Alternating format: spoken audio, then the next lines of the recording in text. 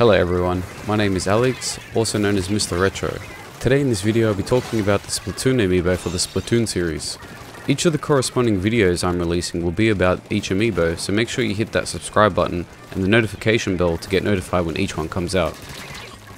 Now you may be thinking, what are amiibos? Well, amiibo are figurines produced by Nintendo that are equipped with near-field communication, better known as NFC technology, and can be used in a variety of Nintendo Switch, Wii U, and Nintendo 3DS games, including Splatoon 1, 2, and 3. With that out of the way, let's get started on what Amiibo look like.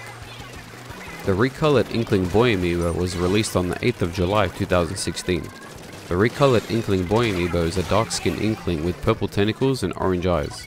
He wears the fake contacts, the Chocolate LS, and the gold high horses and carries the Tentatek Splattershot.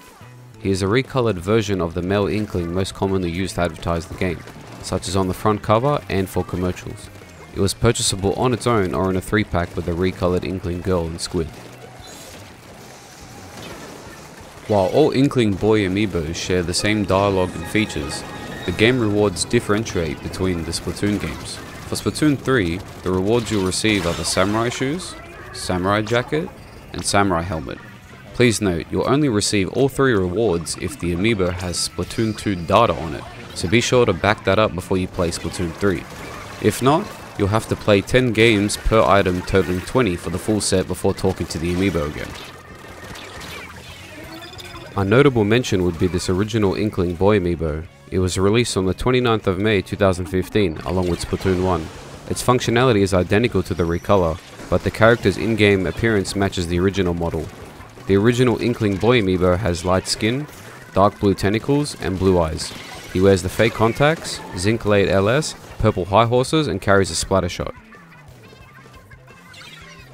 Now that you have all that information, let's take a look at what the rewards look like in game.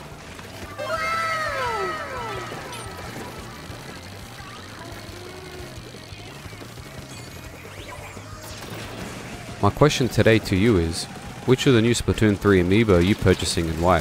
Please feel free to let me know in the comments below.